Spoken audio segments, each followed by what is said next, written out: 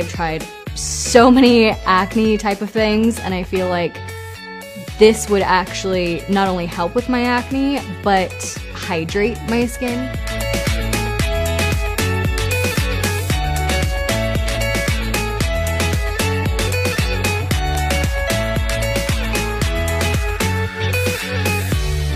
After using the products for a couple of weeks, my skin feels better, it's smoother than before, and I'm starting to see less active breakouts.